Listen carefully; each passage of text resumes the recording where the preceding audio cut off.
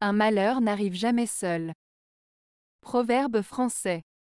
Le proverbe Un malheur n'arrive jamais seul signifie qu'une situation difficile est souvent accompagnée d'autres problèmes et que les ennuis peuvent se multiplier rapidement.